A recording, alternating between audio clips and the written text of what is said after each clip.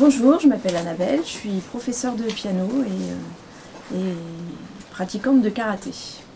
Bonjour, je m'appelle Sébastien, je suis le mari d'Annabelle et je suis cadre dans une banque et passionné de karaté aussi. Ça nous a pris une passion complète, commune, parce qu'on pratique ensemble. Notre vie tourne quand même beaucoup autour du karaté, même si on n'a pas que ça dans la vie, hein. on a aussi euh, une famille, des enfants. euh, mais euh, mais c'est un point central et un point fixe depuis plus de 20 ans maintenant dans notre vie. Puisque moi je suis compétitrice euh, depuis très très longtemps. Euh, compétitrice de haut niveau, j'ai été plusieurs fois sur les podiums en- au niveau national.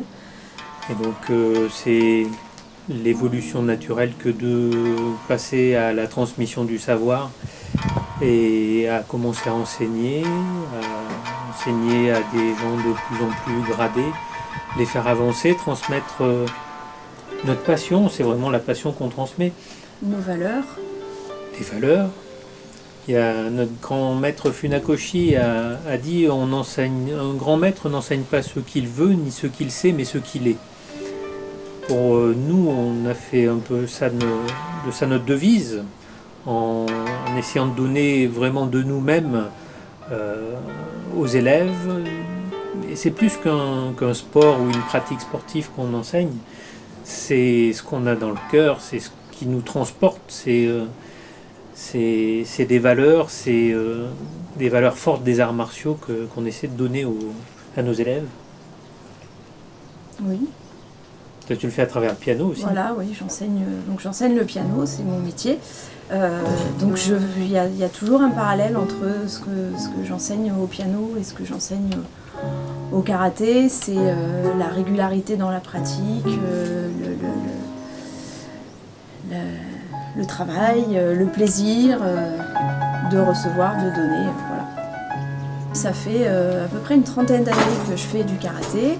Euh, bah en fait, mes parents euh, nous ont élevés, mon frère et moi, en nous disant sport et musique. Études, sport et musique.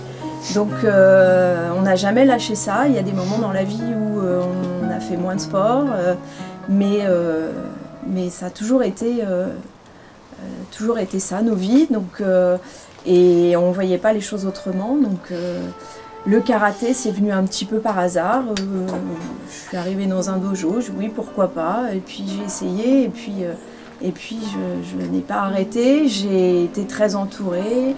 Je me suis retrouvée dans, des clubs, euh, dans un gros club parisien où, j'ai rencontré la compétition de haut niveau et des grands champions, des champions de France, champions d'Europe, champions du monde dans mon club.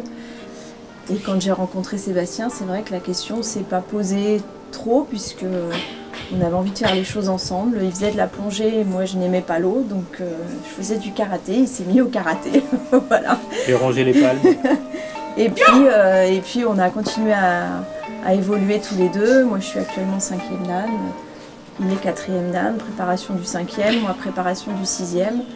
Donc, euh, donc on a encore de belles années de, de karaté pour nous et de transmission aux autres.